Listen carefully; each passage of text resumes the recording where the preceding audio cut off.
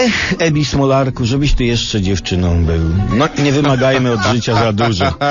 No pięknie wczoraj wygraliśmy, dumny jestem z nas. Włożyliśmy w ten mecz dużo sił i zaangażowania, a poprzeczka była ustawiona wysoko, ale daliśmy radę, co to dla nas jak chcemy.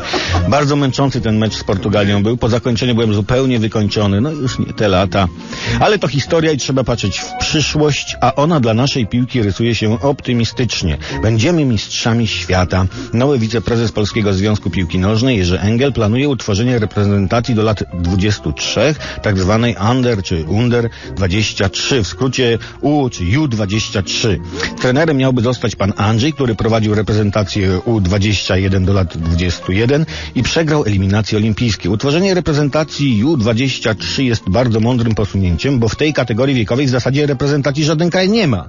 I mistrzostwa nie są rozgrywane, dzięki czemu będziemy najlepsi na świecie właśnie w kategorii U23, po angielsku U23.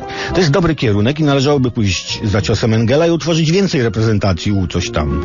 U41, U plus 50, U7,5, byle nie U2, bo nas Irlandczycy pokonają. Irlandczycy w kategorii U2 są bezkonkurencyjni. Również nie powinniśmy się wychylać w kategorii U-bot, bo z Niemcami nie mamy szans.